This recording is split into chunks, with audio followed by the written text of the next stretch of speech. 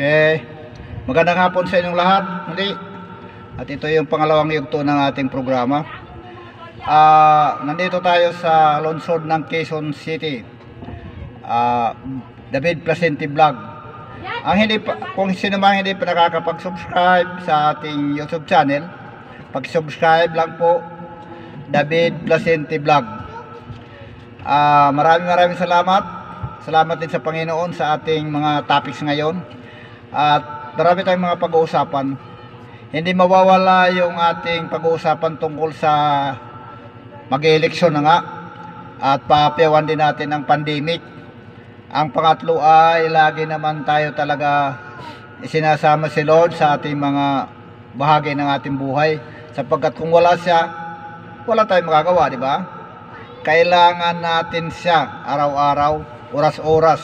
Kasi alisin lang sa atin ang hangin, wala na. Wala ka na talaga. So, ah, maraming survey. Nasa na ba yung listahan ko na wala na. So, okay. Eh, ilalagay ko muna ito eh.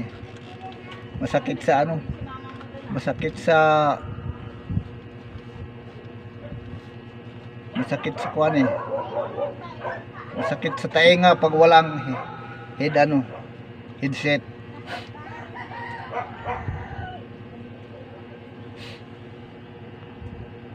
Pasensya na, pasensya na muna. Kasi ilalagay ko lang muna ito, nakalimutan ko. Okay? So, ituloy, ituloy natin. Ah, sa mga maraming survey, unahin natin ang tungkol sa ating ah, sa ating mga sa ating pag ah, malapit ang elections. Unahin natin itong mga nangyayari sa kanila. So, sa Kabisayaan, Visayas at Mindanao ay halos 60% na si BBM. Paano pahabulin yan, di ba? Palakas siya ng palakas. Palakas ng palakas. parami ng parami. So, hindi na mapipigilan yan. So, kayong mga nasa huli, huwag kayong sasama ng loob. Dapat maki, ano na lang kayo, dapat maki unit team na lang kayo.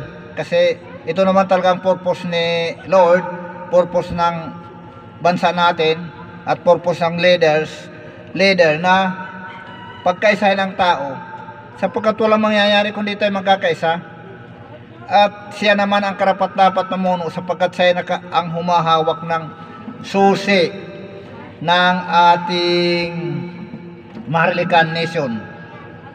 Kasi ito ay pagbabago totally. Pati mga bulsa natin, pagbabago yan. Yung walang bahay, pwede ka na na magkabahay ng sarili.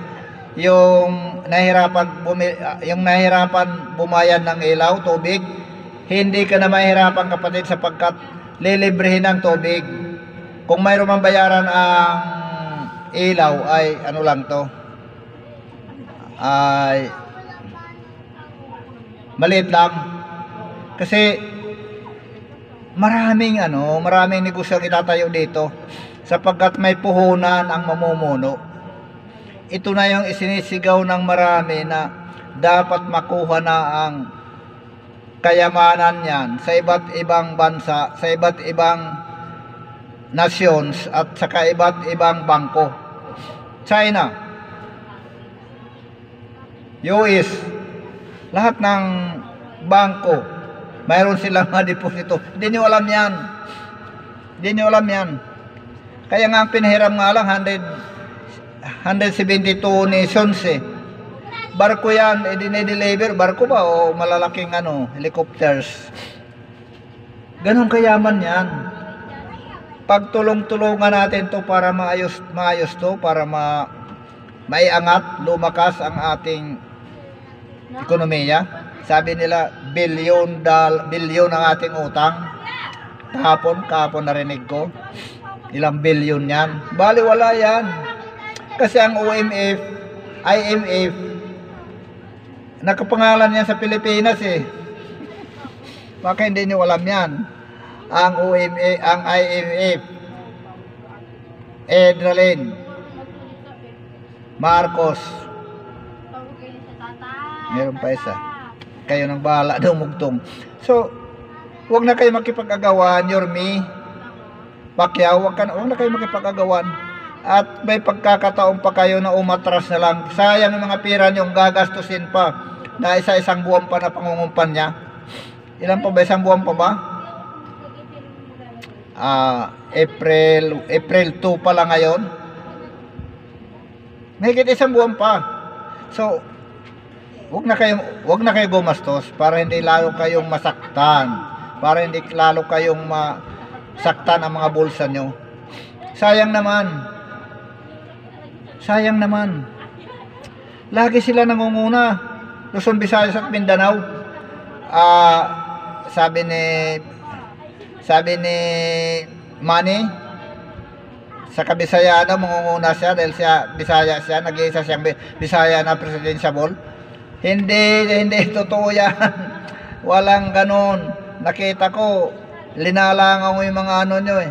Kaya ka dinudumog ng tao, naghihintay mga tao na mag-abot ka ng libo-libo eh. Libo-libo. Eh wala ka na yata ngayon. Eh, eh inaabot na ganon eh. So ano mangyayari sa'yo? Kaya ka hinahanap ng mga tao dahil sa pera. Dahil nung bago, tama believe ako sa'yo. Hindi pa nangyayari ang pangungumpan niya. Nagbibigay ka na ng pera. Tama naman yon. Pero kung masana-sanay na sila hanggang ngayon, hindi ka papansinin pag wala kang pera. Tsaka, marami nagsasabi hindi ka talaga pwede. Ah, sabi ko nga, pwede makulong ang isang pwede kulong, pwede makulong ang isang mga kandidato ng pagka-presidente uupo ng pagka-presidente, pwede makulong, pwede ikulong. Dahil sa mga sobra ng ludonong ng mga tao ngayon, kakalad ka rin ka talaga dyan kung mahina ang pundasyon mo bilang presidente. Tingnan mo si Erap, nakaupo, di niya alam, ginagawa ng kulungan sa tanay. Maya-maya, kinalagkad na siya. Pati mga syota na mga sa showbiz eh. Luma, la, ano na, ipinagkanulo siya. Bakit? Ginamitan ng ano yan, malaking strategy. Anong, mang, anong mechanism, ano yun? Salapi. Pinagka, pinag, alam ko kung anong, bakit na pa, laba, bakit na pa, baba si Erap, si Erap. Maraming hindi pa nakakaalam yan. Ang alam nang lang nila, plunder yan, na plunder. Pero hindi yun ang ibig sabihin eh. Mga sinungaling ngayong naglilite sa kanya eh. Kasi sabi nung kalaban niya, 60 million. Isa sa ninakaw ni ano ni Arap dala-dala ng kanyang bodyguard. Naka, binibit-bit lang. Kapatid hindi mo kaya bitbitin lang siya. 60 million. Kasi bigat yan ng isang sakong palay. So ganon Kani, kahit mali-mali yung kanilang accusation akusasyon dahil balak na talaga nila kalag ka rin si si Irap. Kakalag ka rin at kakalag ka rin talaga. Kahit mali-mali yung kasi pinagkaisahan siya eh. Ultimong magtataho sumisigaw sa sa stage. Pababain yan magnanakaw yan. Okay tamo bakit kasi? Ano bang ano ba ang mayroon? Bakit siya pinababa itong ito, ito kaya ito dapat bantayan talaga ng mga taong bayan to eh. Itong gagawin ni BBM, itong pagbabago, itong unit team. Bakit siya pinababa? Si kasi una, itong kwento ah. Una, pumunta si mahal na first lady sa kongreso.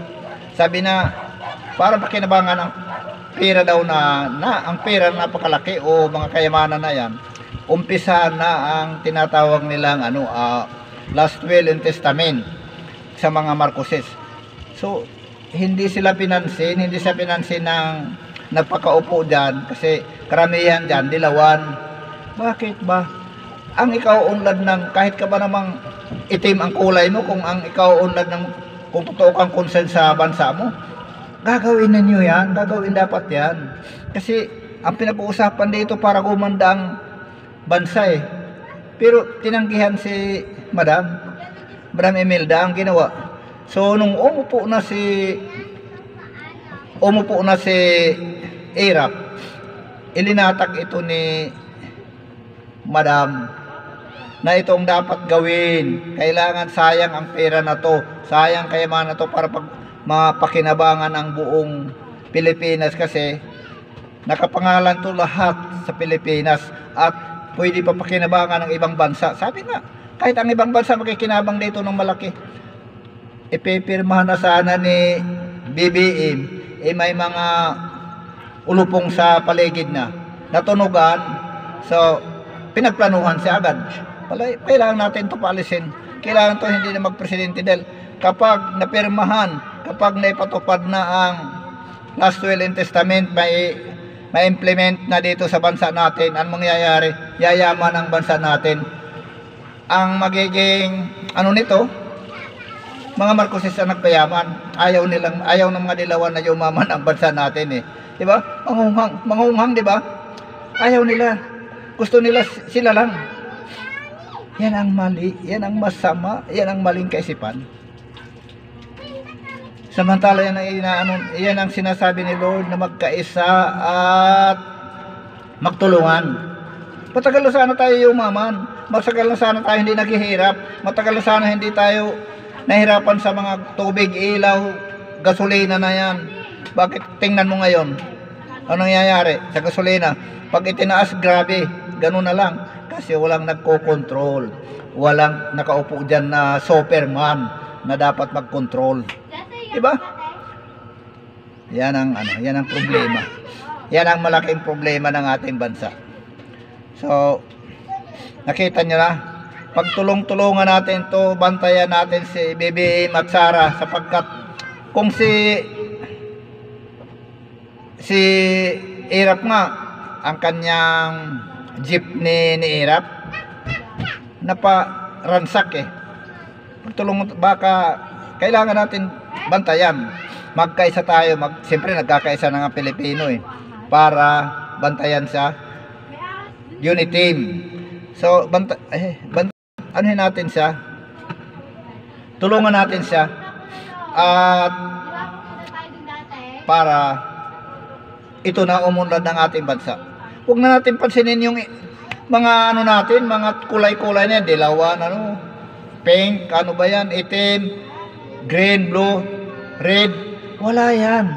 Gali, nagagalit kasi Lord yan sa ginagawa na ganyan eh. Nagkakampi-kampi, nagkababahagi, hindi ganyan. Kailangan iisa lang kulay natin. Tayo Pilipino, Pilipinong Pinoy. Yan ang kulay natin. hindi yung kung ano-ano magkaisa. Ibaba na natin ang mga pride natin. Huwag tayo mag-ambisyon na na magpe-presidente ako para makabili rin ako ng lahat-lahat ng kailangan ko. Para makapamigay. Ay, hindi ganun. Kailangan, kasi para sumikat din ang pangalan ko. Wag, walang ganyan. So, kailangan natin. Kailangan natin ang ito na talaga ang katulad nila na mamumuno kasi may pera. Mamumuno ka, walang perang bansang Pilipinas, lubog na, lub- lubog na lubog ng utang.